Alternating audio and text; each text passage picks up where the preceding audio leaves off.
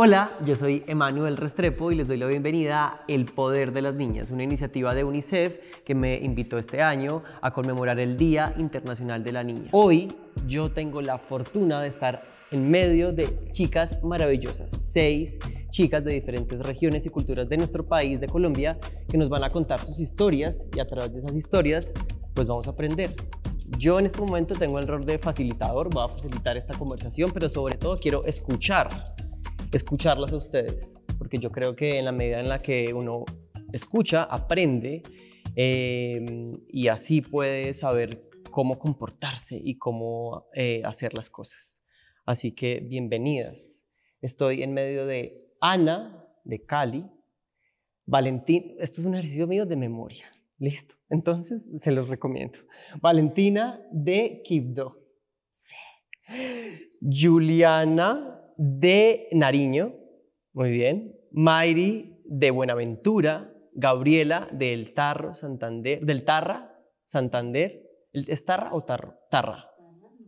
Del Tarra, norte de Santander. Y Yulisa de Barranquilla. Muy bien, lo dije bien.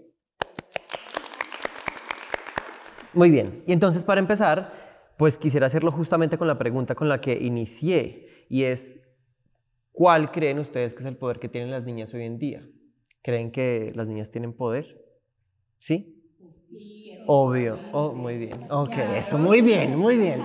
Entonces, ¿empezamos por este lado? Bueno, ya. Cuéntame de dónde vienes tú y, me respondes la pregunta. Bueno, eh, yo vengo de Tumaco. Bueno, ahorita estoy viviendo en el municipio de Barbacoas. Soy de la cultura guam. Entonces pertenezco a un colegio indígena donde se maneja todo esto de la cultura y soy gobernadora estudiantil, lo que por acá en el occidente se lo llamaría un personero. Entonces tengo mi bastón de mando, ya te había explicado el, significado, el simbolismo la, que representa todos los colores, representa el cargo que tengo. Una responsabilidad muy grande porque yo represento casi mil niños que hay en mi colegio, jóvenes, niños, chiquitos, de todo. Y también en mi resguardo eh, hago el papel de consejera de niños y juventud. También represento todos los niños y niñas y jóvenes. Súper interesante. Y en especial me siento súper identificada cuando tú nos dices que eres líder estudiantil. Yo en su momento, antes de graduarme, también lo fui. Pero respondiendo a tu pregunta, Emanuel, eh, es importante que sea más frecuente dentro de la vida de las niñas. Por ejemplo, yo nunca me había hecho esa pregunta cuando empezamos con todo ese proceso con UNICE, yo, o sea, ¿cuál es mi poder? Tal vez tengo ese poder, pero no lo logro identificar, no logro reconocer que tengo un poder. Y hoy puedo decir que mi poder es mi voz, esa voz que se refleja y que se representa a través de ese liderazgo que a hoy he venido representando. El poder de las niñas radica en esa capacidad de ser ellas, en esa capacidad de expresarse, en esa capacidad de convertirse en líderes, de ser promotoras de cambio, de ser de servicio, de interactuar. O sea, yo siento que somos valiosas y tenemos muchísimo por darle a nuestro alrededor y nuestro contexto territorial. Juliana y Mayra, algún paréntesis antes de seguir con las respuestas de ustedes, que me surge como con respecto a lo que ustedes me responden. Y es, ¿ustedes creen que con ese poder uno nace, así como dices tú, como que simplemente estás ahí, ya tienes un poder, o ese poder se va creando y no lo va encontrando? ¿O ambas? Yo creo que ambas es relativo. Yo creo que es relativo. Ambas, o sea, ese poder se encuentra, tú te encargas de identificarlo, tú te encargas de saber, de encontrar ese poder que tú tienes, porque todos tenemos un poder. El, además de que principalmente comienza todo creyendo en uno mismo, para que los demás crean en uno. Y también como en nosotros vivimos en búsqueda constante, todos los días estamos aprendiendo. Entonces yo siento que, que, a través de ese diario vivir nosotros podemos ir creando nuevos poderes y además no puede ser un solo poder, tenemos muchos poderes, entonces yo siento eh, que sí, ¿o qué opinan ustedes, Bueno, eh, te cuento. Al respecto de que si nacemos o lo, o lo encontramos en el camino, yo creo que es algo con el cual uno nace, porque cada quien nace con una identidad y nace con, como con algo ya de su propio ser en de, cómo actuar a pesar de que por medio de situaciones y en el camino del crecimiento vamos aprendiendo muchas cosas, siempre la autenticidad es algo primordial. Y respondiendo al cuál es mi poder, es la autenticidad. lo tenía antes, siempre decía, no, mi poder está en mi voz, pero siento que ser auténtica es mi poder. Y para todas las niñas, pues el poder de las niñas sí está en su voz. Está en el poder eh, defender sus derechos y velar porque sean escuchadas. Y no, no solamente por alzar su voz, sino porque esa voz tenga un valor. Por darle un valor a esa voz y que sean escuchadas, porque no sé si habías escuchado antes del 11 de octubre de que el 11 de octubre se conmemora el Día de la Niña. Yo no sabía. Escuchado? No. Yo, Lo, yo lo supuse, mira. Eh, es, un día, es un día muy especial y te lo digo, yo crecí toda mi infancia hasta los 13 años que me enteré que existía el 11 de octubre, el Día de la Niña. Pocas personas saben, pero es un día muy especial porque no es como, ay, el Día de los Niños, donde están las niñas y los niños. No, es un día especial para nosotras como niñas que hemos desde que nacimos hasta este momento hemos peleado porque nuestra voz y nuestros derechos se han escuchado. Así que bueno, ahí respondiendo a tu pregunta. Yo tengo ahorita una como más preguntas sobre eso y antes de seguir para allá, paso contigo, Gaby. ¿Tú cuál crees que es tu poder y si crees que hay un poder de las niñas? Obviamente las niñas tenemos un poder grandísimo que es la confianza y la autoestima que tenemos en nosotras mismas. Pues mi poder es amar lo que hago. Yo amo lo que hago y pues me identifico como mi poder porque es que cuando tú amas lo que haces, todo sale perfecto y todo, todo sale genial y pues el poder de las niñas que yo veo hoy en día es ese, autoestima y confianza, porque cuando tienes confianza en lo que haces, crees en ti misma y entonces más que todo, ese es el poder que yo identifico en las niñas. Muy bien, por este lado. Vale. Yo vengo del departamento del Chocó, Quibdó, y soy parte de la escuela de robótica del Chocó la cual me ha ayudado a poder expresar esa creatividad que de hecho es mi poder, la creatividad es mi poder, eh, para poder crear e imaginar eh, aquellos prototipos o proyectos los cuales en un futuro o en este momento me están haciendo llegar a lugares que desde una niña de seis años jamás se imaginó que iba a llegar a este punto. Y respondiéndote si las niñas tienen poder y nacen o se hacen con el poder, yo creería que nacen, pero nacen con el poder hasta una edad que se dan cuenta de que tienen ese poder.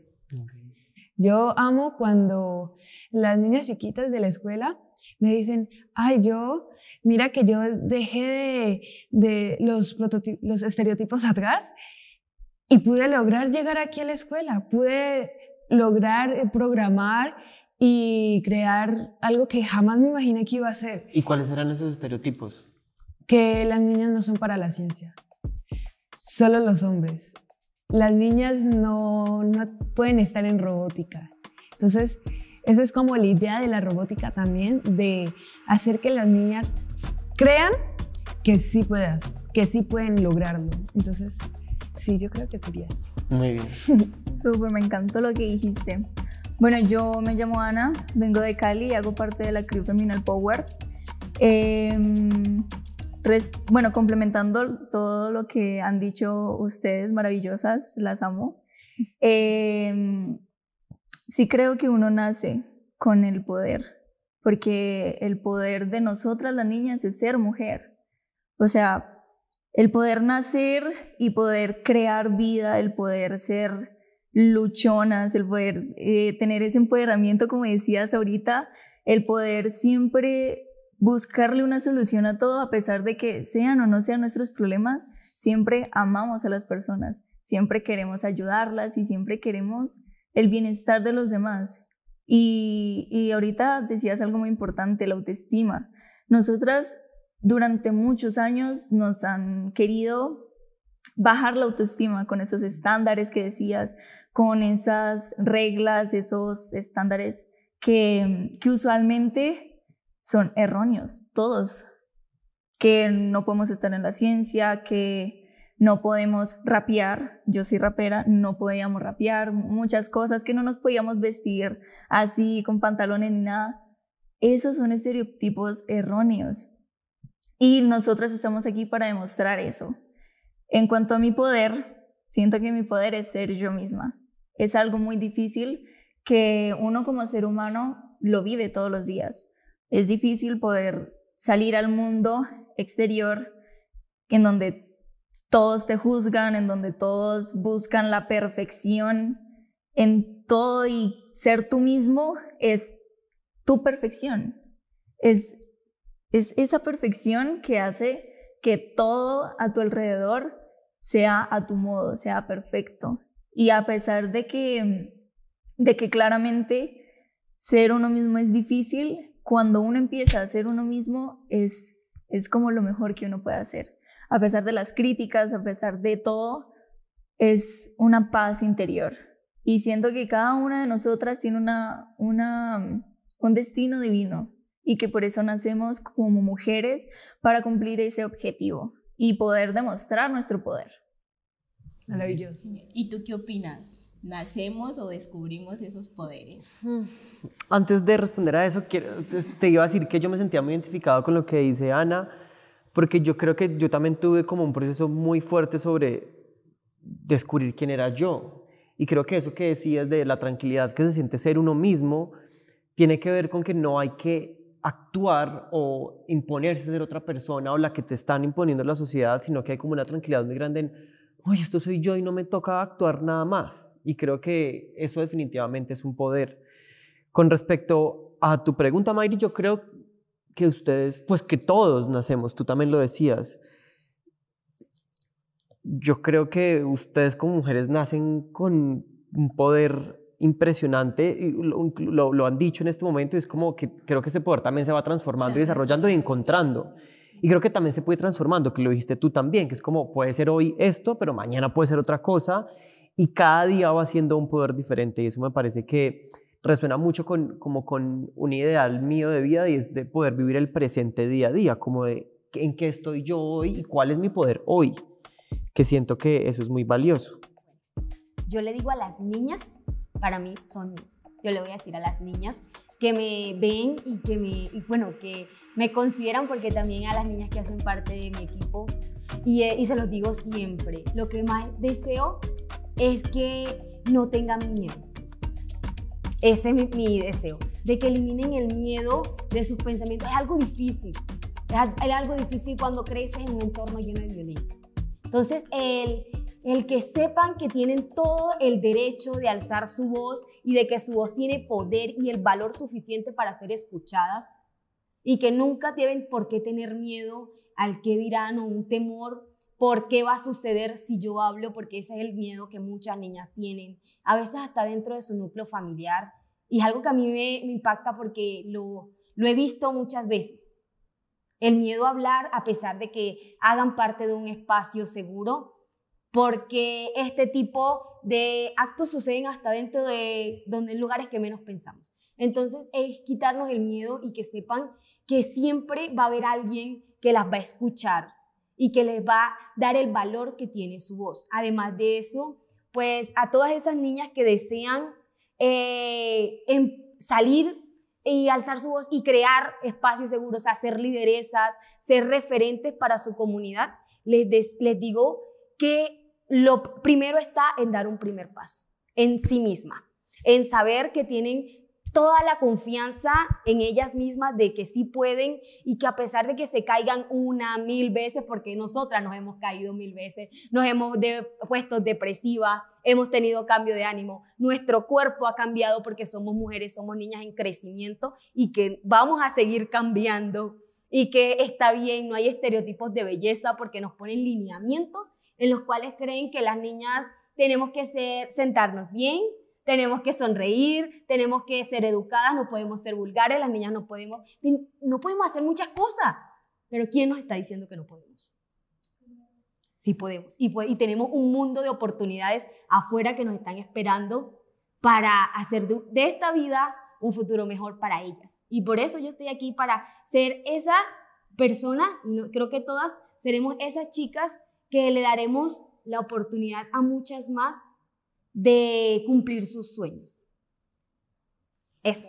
Gracias. Me parece. Bueno, yo eh, les diría principalmente que mm, se vistan de ellas mismas. Sé que también suenan raro, pero ayer hablé con una mujer súper maravillosa y mm, me contaba que eh, hay que vestirnos de nosotras mismas, porque como decías, siempre nos dicen cómo sentarnos, cómo vestirnos y todo, pero ¿qué pasa cuando me visto de mí misma? Que demuestro al mundo quién soy y ese es mi propio estereotipo. Yo soy mi estereotipo. No hay un estereotipo fijo. Tú tienes tu estereotipo y es único y es respetable y yo te puedo admirar. Y así somos todas. También que no se rindan. O sea, a veces pasan cosas, uno se tropieza, uno pasa por demasiadas cosas, dificultades, problemas, pero ¿qué pasa? Que al no rendirse, que al buscar maneras para lograr todo lo que uno se propone, eso es como la motivación que uno tiene para llegar a alcanzar eso y que cuando uno sabe que lo va a hacer, que lo va a lograr y que va a llegar a eso, uno siente como una paz, como algo aquí en el estómago que le dice como, ah, lo logré. Y también poder que con eso inspirar a otras personas y que no sean como yo, que sean ellas mismas, que me tomen como ejemplo, que puedan sentir que ellas lograron eso por medio de nuestro apoyo, que nosotras también sepan que somos su apoyo, que pueden em, buscar consejos, que aprendan a saber a quién escuchar. A veces no sabemos a quién escuchar o escuchamos comentarios erróneos, comentarios que no nos ayudan para nuestro progreso. Necesitamos aprender a saber a quién escuchar, saber quién nos va a dar un comentario que nos pueda ayudar a progresar, a ser nosotras mismas y a poder llegar a eso que nosotros queremos.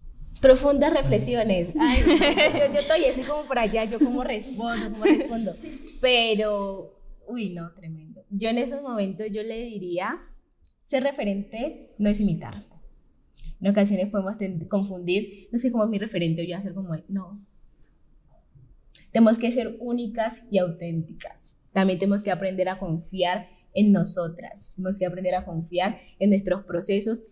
Ahora bien, es importante pedir ayuda. El hecho de que seamos líderes, de que sepamos, de que estemos aprendiendo, de que lideremos, la ayuda es importante. A saber decir, yo necesito que me ayuden, saber contar con tu opinión, saber contar eh, con mis familias, saber contar con mis amigos y también empezar a construir no simplemente entornos protectores para las demás personas, sino también entornos protectores para, para mí misma, para mí como líder, para mí como referente, para mí como niña. Entonces yo siempre digo y asocio mucho de que no se puede separar y tiene que ser un proceso articulado el hecho de yo ser referente, yo trabajar por la comunidad, pero también tengo que tener unos procesos internos porque en ocasiones podemos parecer feliz, podemos liderar, podemos, ajá, y comernos el mundo, pero hay batallas y luchas internas, entonces yo siempre insistiré en que no descuidemos nuestra vida personal, no descuidemos nuestras emociones, no descuidemos nuestra salud mental yo siento que ese es el consejo que le daría y que ellas pueden con todas, que el simple hecho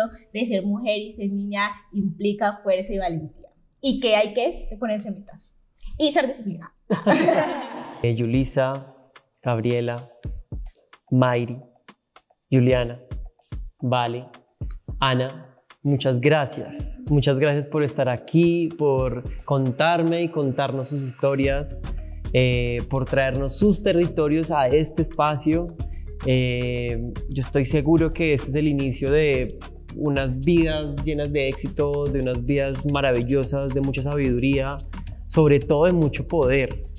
Ustedes son unas niñas con mucho poder y creo que lo que nos demuestran hoy es que cuando una niña tiene el apoyo de su comunidad, tiene el apoyo de su familia, tiene las herramientas, el conocimiento y la conciencia, puede lograr cosas inmensas como ustedes lo han hecho. Gracias por contárnoslo. Y gracias por enseñarnos y mostrarnos que el poder de las niñas es innegable. Nos vemos. Chao.